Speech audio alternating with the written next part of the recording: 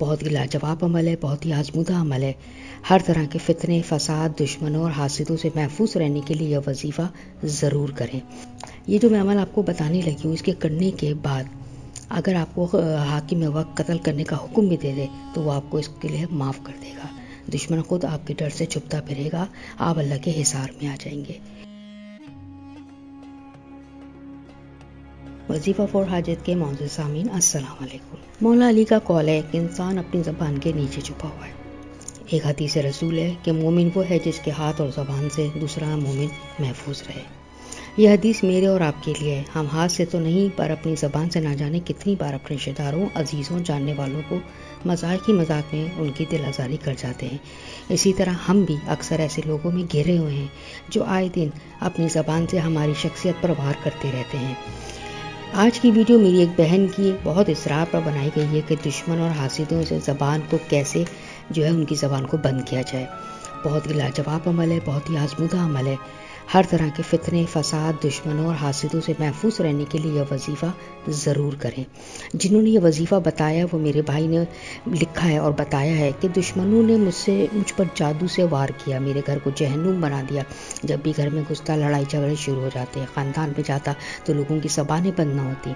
बहुत परेशान रहता था, जॉब पर भी असर पड़ रहा था, घर भी बर्बाद हो रहा था। फिर यह अमल किया और आज मैं अल्लाह का शुक्र अदा करता हूँ कि बहुत खुश हूँ। वही घर जो जहनुम था, आज जन्नत का टुकड़ा बना हुआ है। बस, ये सब मेरे परवरदिगार का करम है। अब हम अमल की तरफ़ में आती हूँ, लेकिन एक रिक्वेस्ट है कि चैनल को सब्सक्राइब वीडियो को लाइक ज़रूर करें और आपको जिस मसले पर भी वीडियो चाहे वो कमेंट बॉक्स में मुझे ज़रूर बताएँ। ये जो मैं अमल आपको बताने लगी हूँ, इसके करने के बाद अगर आपको हाकिम वक्त कत्ल करने का हुक्म भी दे दे तो वो आपको इसके लिए माफ़ कर देगा। दुश्मन खुद आपके डर से छुपता फिरेगा। आप अल्लाह के हिसार में आ जाएँगे।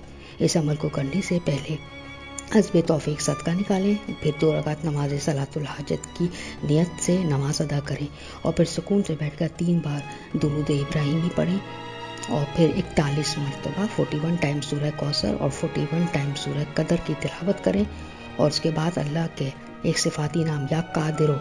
ये 101 बार आप इसका व्रत करें और आखिर में फिर दुरूद इब्राहिमी पढ़ लीजिए। बस, ये आपका अमल हो गया। फिर अल्लाह ताला से ज़ाहिरी और छुपे हुए दुश्मन से हिफाजत की दुआ मांगे। ये ऐसा बेहतरीन अमल है कि आप खुद हैरान हो जाएँगे। हफ़्ते में एक दफ़ा इसको ज़रूर करें। चाहे दिन कोई भी रख लें, लेकिन सुकून का हो। उम्मीद करते हैं कि छोटी सी वीडियो आपको पसंद आई होगी। लाइक एंड शेयर ज़रूर करिएगा। अगली वीडियो तक के लिए मुझे इजाज़त दीजिए। अल्लाह हाफिज़।